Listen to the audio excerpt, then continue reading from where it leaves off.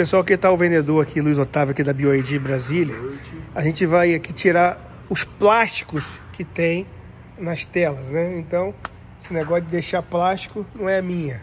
Então, retirado o primeiro plástico protetor da tela e vamos aí retirar o segundo. Tem mais não, né? Não, só São os dois aí, retirados o plástico protetor da tela.